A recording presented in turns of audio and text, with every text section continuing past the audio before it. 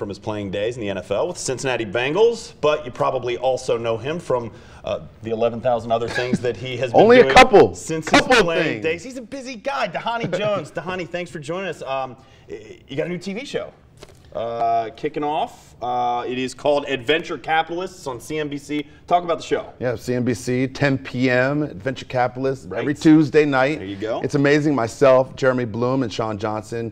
And if you think about it from a perspective of investing, there's no more boardroom. It's all about the outside, Yeah. the great outdoors. It's about experiencing products that you've never seen before. It's about going where the entrepreneurs are. And so, uh, our cast of characters, alongside with some guest hosts, um, you know, you have Shawn Johnson, myself, and, and then you also have Sean Neff comes on the show. And then you have Bode Miller that comes on the show as well. You have Vernon Davis. I mean, there, Tony Gonzalez. We are some characters out there, and there's some amazing products, and so we get to test them. We we become the the test dummies, if Yeah. you will. Well, one thing I love about this is uh, all the star power that you have. Is there anything that surprised you about the show in terms of the products that you've tested? Oh, there's all kinds of products that are out there. One of my favorite ones is an all-wheel drive motorcycle, and I used to have a Harley Davidson when I was younger, and when I was playing in Philadelphia, and then I, you know, then all of a sudden you, you realize that it's not necessarily that good good to have a, a motorcycle all the time, especially when you're playing. Right, you probably got that in your contract. Yeah, exactly. A little bit in the contract. Your coach's like, put that away, Yeah, put that yeah. away. But on Adventure Capitalist, I got to try out an all-wheel drive motorcycle out in the middle of the desert,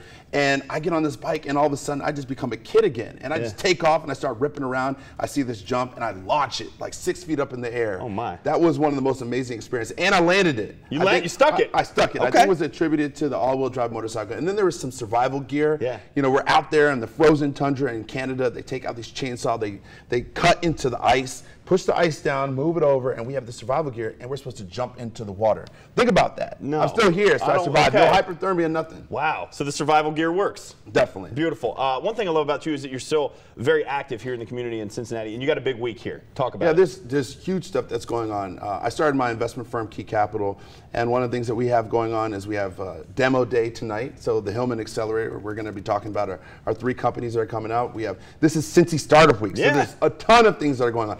Everybody everybody from P&G is back in town. They have their events that are going on, and then also on Friday there's Brandemonium. So you have Seth Godin that's talking, you have Jim Stengel that's talking about, but talking more about Cincinnati and the brands that have come here, but also the people that have developed brands that are from here, and then how everybody should come back and work on the brands that are going to be here for a lifetime. So it's all since the TechStar Cincy Startup Week, and there's amazing stuff that is happening. You, you've had such an exciting career post NFL. Was this the plan all along? Did you look and say, hey, you know what? I need a life after football. Here's what I want to do. Well, if you're smart and you go into the National Football League, you understand the acronym "not for long." Right. So you're always thinking about what that transition is. Now, you may not be thinking about it while you're playing because you just might miss the tackle, or you just might miss the interception, or you may not make the play, so you not may not play for that long. And I was fortunate enough to play for 11 years, and then in transition, I was thinking to myself, okay, what do I want to do? And I thought about Cincinnati. I saw Cincinnati in its own renaissance or renaissance, I There like to go. say.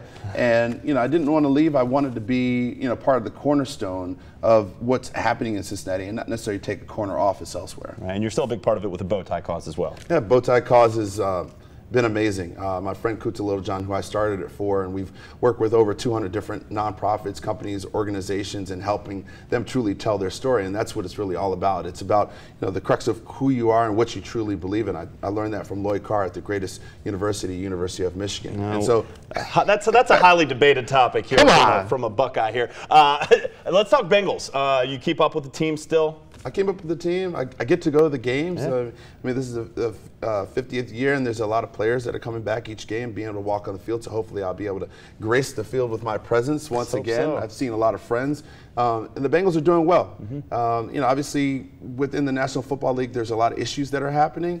Um, there's a lot of players that are unfortunately getting hurt, and you know, with a little bit of luck, team will make it to the playoffs. Are, are players under a more refined microscope these days with any little move they make is going to be scrutinized? Oh, I mean, with social media and Yeah. digital in this world, you can't do anything without somebody seeing what's going on. Right. So it's probably tougher for a, a new guy coming into the It's league. tough as for it's tough for everybody. Yeah. All right. Dhani Jones, thank, Thank you you. so much for joining us. Let's go Who Dey. Yeah. Who dey?